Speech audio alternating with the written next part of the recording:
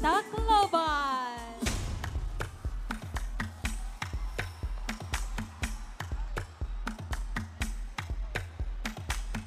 This national costume is a stunning representation of Philippine culture, drawing inspiration from the magnificent monitor lizard and its native Bacawan tree.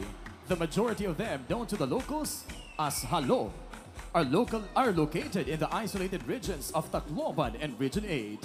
In the face of difficulties like destruction and climate change, the monitor lizard halo serves as a reminder of the significance of resilience and adaptation for both wildlife and human communities.